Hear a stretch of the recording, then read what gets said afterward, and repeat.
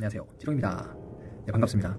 오늘은 한 가지 치과 관련해서 이렇게 겪었던 이야기를 좀 유용한 정보일 것 같아서 이렇게 촬영을 시작했는데요. 어, 제가 어렸을 때부터 입치아가 좀 많이 썩는 타입이라서 치과를 정말 많이 다녔습니다. 오래 다녔고 굉장한 고통과 또 돈도 많이 사용, 사용을 했습니다. 최근 들어서 앞니 부분에 되게 통증이 심하게 느껴져서 병원을 갔습니다. 그 전에 다녔던 병원이 아니고 좀 그 큰 병원을 갔거든요. 치과 병원이라는 곳으로 갔는데 최첨단 기기들이 있어요. 그래서 이렇게 엑스레이도 찍고 어, 상담도 받고 했는데 앞니 부분이 에, 안쪽이 잇몸 쪽이 염증이 많고 또 치료가 불가능한 그런 상태다. 제가 그 당시에는 통증이 굉장히 좀 심해서 어, 그 치과 의사분이 하는 말이 맞구나 이렇게 생각하고 이제 견적을 받았더니 이빨을 총 3개를 어, 이렇게 이빨색으로 어, 교체를 해야 된다고 하더라고요. 치료를 하고 나서 이것도 임플란트를 해야 될 수도 있다라고 굉장히 충격적인 그런 말을 들었습니다. 그래서 이제 제가 어, 견적 비용이 거의 한 150만 원 가까이 뭐 든다고 그렇게 말을 해요. 이빨을 치료를 해봐야지 이제 정확한 견적이 나오겠지만.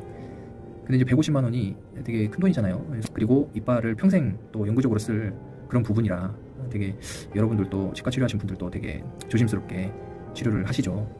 그래서 이제 제가 엄청 충격을 받고 원래 좀 알고 있었던 치과 치과에 가서도 똑같은 부분을 견적 상담을 받아보자라고 하고 좀 갔죠.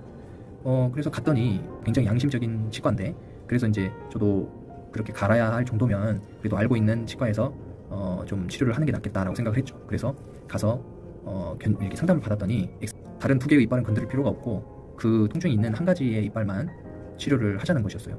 그래서 이제 이 앞부분의 이빨을 어떻게 치료를 할 수 있을까 했더니 그분이 이렇게 안쪽 이빨 안쪽을 이렇게 구멍을 뚫어가지고 그 안으로 염증 치료제를 넣고 어, 그렇게 해서 치료를 몇 번 받자고 하더라고요. 그래서 이제 여기서 느꼈던 게 아, 정말 치과를 정말 잘, 선, 잘 선택해야 되겠구나. 만약에 제가 그냥 귀찮고 그 바로 통증에 의해서 좀 결정을 했더라면 큰 공사를 하게 될 수밖에 없었던 거잖아요. 세 개의 이빨을 갈아야 되고 아, 물론 뭐 더 튼튼한 이빨로 갈면 교체를 하면 좋겠지만 또 다른 그 치과 의사 선생님들 유튜브 유튜브를 보면 또 어, 자연 이빨이 제일 좋고 자연 이빨을 해치지 않는 선에서 치료를 하는 게 굉장히 좋다고 이렇게 말을 많이 들어서 어, 그런데 이제 치료를 그렇게 해서 통증도 없어지고 어, 이렇게 레진으로 메꾸기까지 끝 마쳤거든요. 그래서 결국엔 이 치과 비용이 어, 150만 원에서 10만 원 정도밖에 안 들었던 겁니다.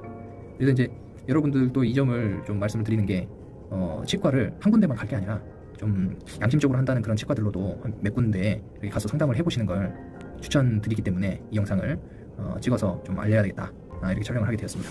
또 이제 제가 어, 그 외로 뭐 여러 가지 또 치과 관련된 뭐 정보들이 또 있게 되면은 어, 이렇게 또 촬영을 해서 정보를 한번 드리겠습니다. 그럼 여러분 코로나 시대 어, 항상 조심하시고 건강, 건강 관리 잘 하시길 바라겠습니다. 그럼 또 다음 영상에서 뵙겠습니다. 안녕!